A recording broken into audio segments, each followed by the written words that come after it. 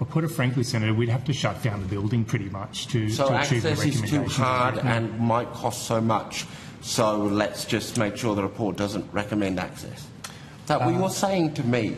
Disability access inclusion is too expensive and too difficult. You've been told that this building doesn't meet the standards, so you're not going to release the recommendations until you've watered them down. No, Senator, that's not what I'm saying at all.